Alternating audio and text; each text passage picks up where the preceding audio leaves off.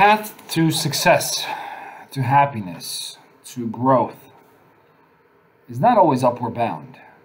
Um, I had a conversation with a colleague today, and they were given an opportunity, something that the person providing them the opportunity thought they could absolutely do. It would have been a growth, it would have been a promotion, it would have been a leadership position. Um, individual that individual would be leading an entire department. They were initially very excited. They spent some time thinking about it, contemplating, and then they came back and they declined the opportunity. And honestly, the more I think about that decision, it was probably the best decision they could have made. Being self aware and knowing what's for you and what it's not is really important. Not everybody needs a new title, a corner office, more money, a bonus. That's not everybody's goal. That's not everybody's dream. I have massive goals. I've accomplished a lot in my professional career and in life, and I'm nowhere done. I want to make things better. I want to make a difference in lives of people I work with and work for, and want to keep challenging myself. I enjoy taking risks. I enjoy entering rooms when somebody says, Hey, we've had this problem for months or years and no one knows how to figure it out. That's where I thrive. That's where I like to be.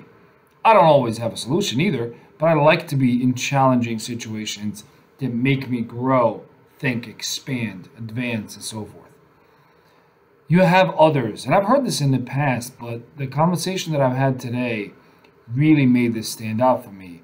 And that is their logic and reasoning was I've spent I would spend too much time away from doing what I love to do and this is this functional technical task.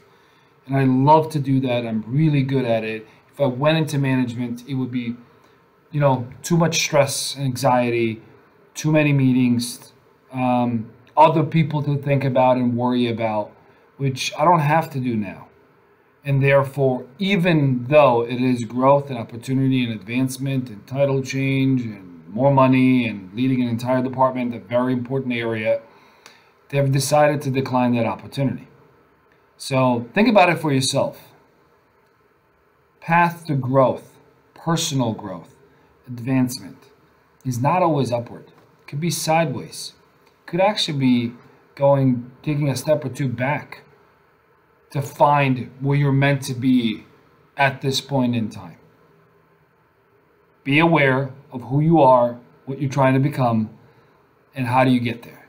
Not everybody's meant to be number one. Not everybody wants that responsibility and those headaches, that visibility. Not everybody wants to be responsible for careers and, to a degree, lives of others.